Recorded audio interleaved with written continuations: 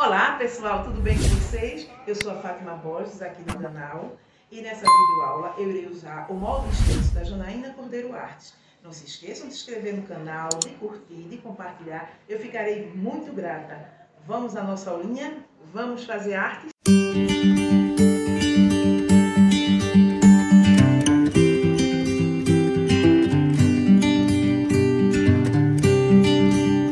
Irei usar o molde extenso da Janaína Cordeiro Arte, referência 483, Orquídea Miltônia Moreliana, 9 cm. Irei usar o EVA verde e o EVA branco de 1,5. As tintas amarelo ouro, magenta e o verde oliva, ok? Todas elas da Acrylex. E o pincel pituá de cerdas macias, ou pode ser o trincha também, o pincel, ok? Nesse molde extenso, vocês podem fazer duas orquídeas Miltonia moreliana. Vem dois moldes aí. Primeiro, vamos usar a cor magenta em movimentos circulares ao redor, pessoal. Como eu estou mostrando aí no vídeo, certo? E depois vou preencher todo esse espaço do molde extenso aí da orquídea. Irei fazer uma, certo? Mas nesse molde vocês podem fazer duas Estou pintando aí a mão leve, né? Porém, acelerei o vídeo para o vídeo não ficar muito longo. Não tem segredo nenhum essa parte dessa pintura, certo? Agora, pessoal, eu irei colocar o molde de novo no lugar dessa parte do miolo da orquídea e com o amarelo ouro, outro pincel, a tinta amarelo ouro, estou pintando essa partezinha aí, ó, e puxando um pouquinho a tinta para baixo conforme estou mostrando no vídeo, certo? Não carregue muito o pincel. Agora vamos para a estampa. A estampa, pessoal, nós iremos colocá-la justamente ó, a partir desse pescocinho, eu chamo pescocinho, e usando a tinta cor magenta da Acrylex. E movimento vai e vem. Quando chegar em cima, vocês dão uma batidinha nessa parte do pescocinho e ficará assim, certo? Eu vou deixar secar e agora vou para a folhagem. Aliás, as folhagens, por quê? Porque eu irei fazer duas folhagens grandes, certo? Vou fazer, tem que ser duas batatas, ok? E uma folha pequena, que eu vou pintar, que já tem uma pronta, usando o verde oliva. Vocês podem também usar o verde musgo. Eu quis o verde oliva para que a folhagem ficasse um pouco mais clara, ok? São duas batatas, certo? Eu chamo batatas porque é um formato de uma batata, pessoal.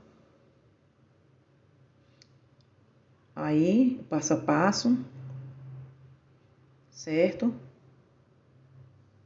A outra folha, bem simples, observem como é prático trabalhar com molde extenso.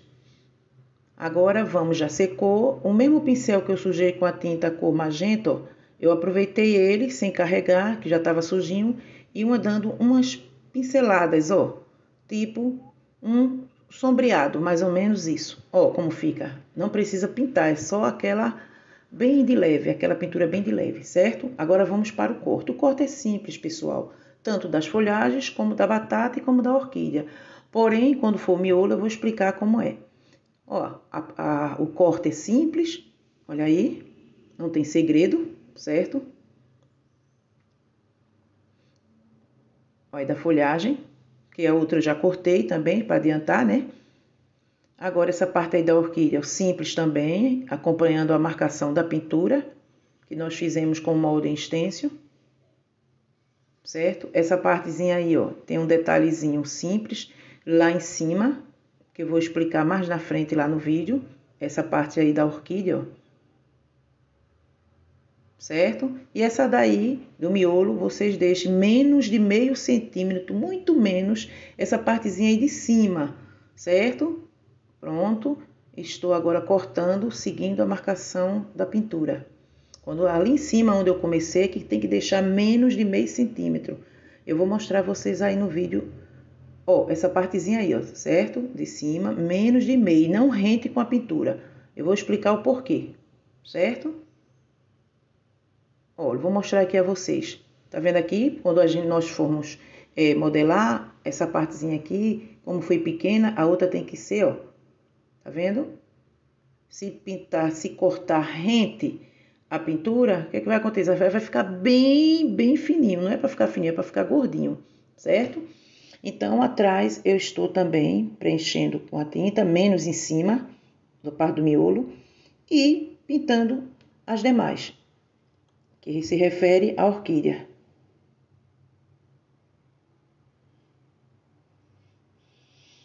Pronto. Agora vamos para as folhagens e as batatas, também atrás, pintando com o verde oliva, que também pode ser o verde musgo, certo? Não se esqueçam de inscrever no canal, de curtir, de compartilhar. Eu agradeço de coração, pessoal. Irá ajudar muito.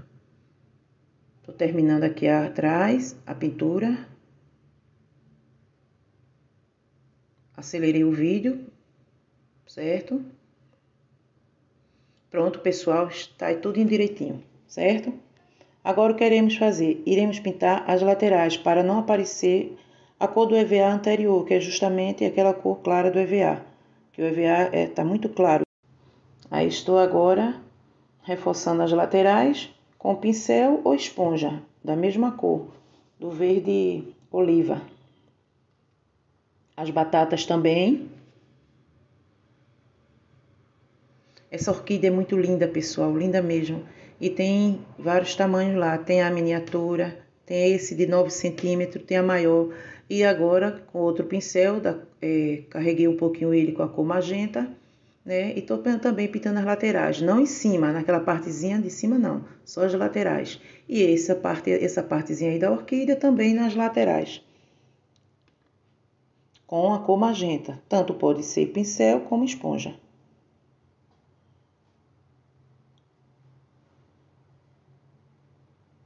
Pronto, já estou finalizando, pessoal ok?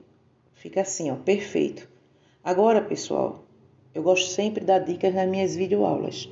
Então, eu estou usando a termolina leitosa da Acrylex, certo? Antes de esquentar no ferro, o EVA, eu estou primeiro passando a termolina leitosa para impermeabilizar, que esse EVA é de 1,5. Então, eu impermeabilizo com essa termolina leitosa. Por quê? porque depois de secar ele fica mais durinho. Como vai ser a folha de orquídea, não pode ficar aquilo muito mole, né? Então, depois que seca, eu vou agora e vou esquentar no ferro. Também pode ser na sanduicheira, viu, pessoal? Primeira folhagem. Observem, eu seguro aí, ó, o dedo indicador e polegar, e da outra mão eu com o dedo indicador segurando embaixo o polegar, ó, e vou esticando assim essa parte e passando o dedinho indicador dentro para marcação da folha da orquídea. Pessoal, ao acessar o site www.janainacordeiroartes.com.br, não se esqueçam do cupom de desconto Fátima Borges, tudo junto. Tanto vocês vão ter um desconto bem legal, como também vai ajudar o canal, ok? eu peço de coração. A outra folhagem, certo?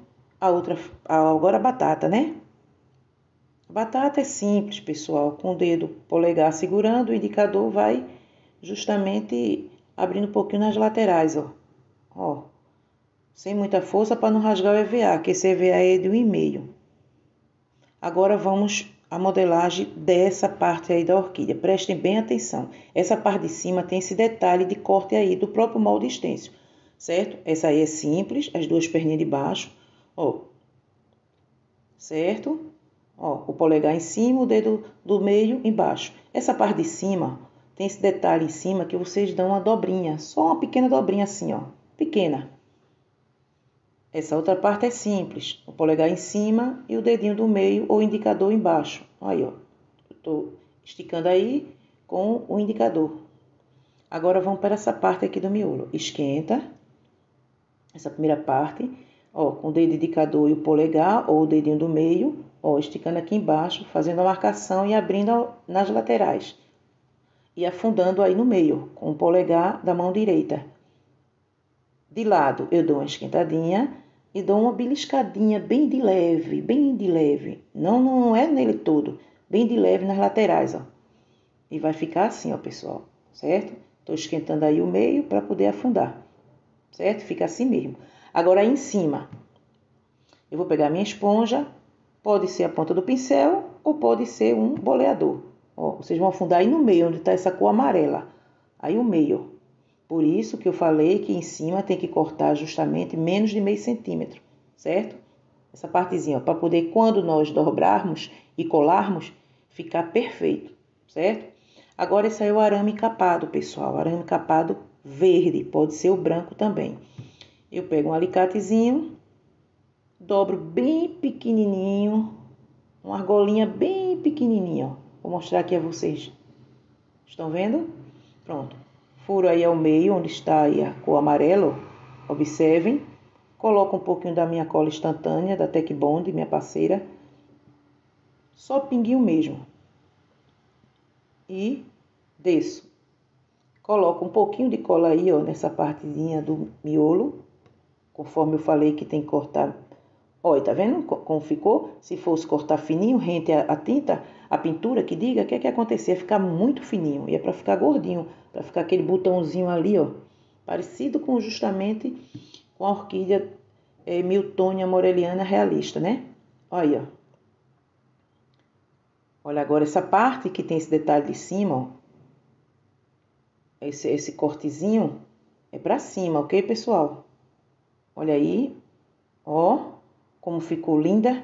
Eu amei fazer essa orquídea. Olha o detalhe em cima, que faz toda a diferença, não é verdade? Pronto, pessoal, aqui está um fio de telefone e um fio de internet. Eu optei mais para o fio de telefone, porque é maior. O fio da internet também é bom, mas como eu quis fazer essa aqui maior, que eu já tinha feito as demais, para essa aí ficar, quando eu for colocar num vaso, ficar no meio. Então, vocês também podem fazer isso. As demais, que eu vou mostrar daqui a pouco, eu fiz menor. Pronto, já revesti com a fita floral, que é simples, né? E a folhagem. Agora, muita atenção agora.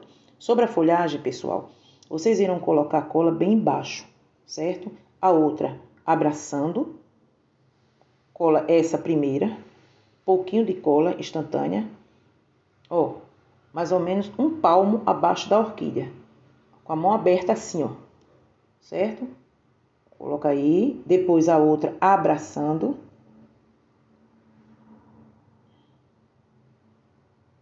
Certo?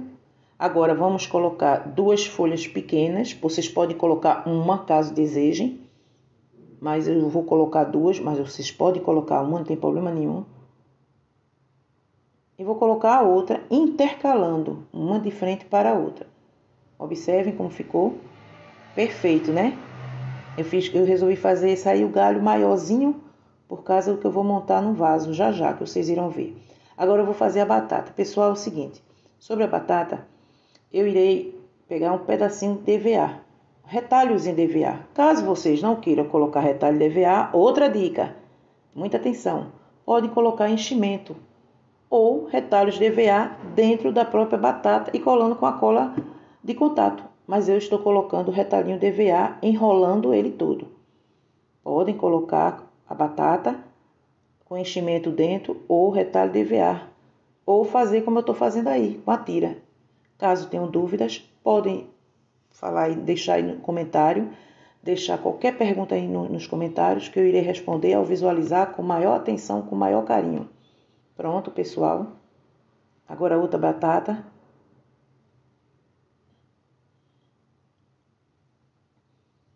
Usando a cola instantânea. Pronto, finalizando. Para poder não aparecer essas emendas, eu resolvi dar um retoquezinho com a tinta verde oliva. Bem simples, certo? E finalizei. Olha aí, pessoal. Perfeito. Olha aí as demais que eu fiz. Fiz até menores esses, esses outros galhos que eu fiz. Aqui é um vaso plástico que eu coloquei areia vermelha e amarela. Eu não tinha musgo, mas eu coloquei areia vermelha e amarela e misturei, certo? Então, o galho que eu fiz agora com vocês, eu tô colocando aqui no meio. Os demais eu fiz menor. e um pouco maior. Mas esse é o maior que eu fiz aqui no vídeo, certo? Deixei ele no meio e depois fui colocando os demais. Ó, pessoal, aí dentro está a argila, né, no saco, certo? Mas vocês podem colocar musgo, colocar raspa de madeira. Olhem, pessoal, como ficou lindo, né? Agora eu vou impermeabilizar todas as orquídeas. Vou colocar o meu verniz da minha parceira Tech Bond Spray. Espero que vocês tenham gostado. Não se esqueçam de se inscrever no canal, de curtir, de compartilhar e até a próxima videoaula, pessoal.